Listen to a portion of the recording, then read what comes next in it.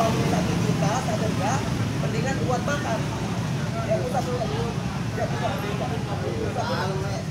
dulu jangan ketawa nanti kamu sakit dan satu juta ini buat keluargamu ayo bapak pusat mau pusat eh fotonya bapak foto bapak dijai eh dijai dijai ya pusat kamu daripada denda satu juta mendingan buat keluargamu. Jelas ya? Kamu warga mana? Warga mana kamu? Warga mana? Hah? Kamu jangan kotorin sumur batu sini.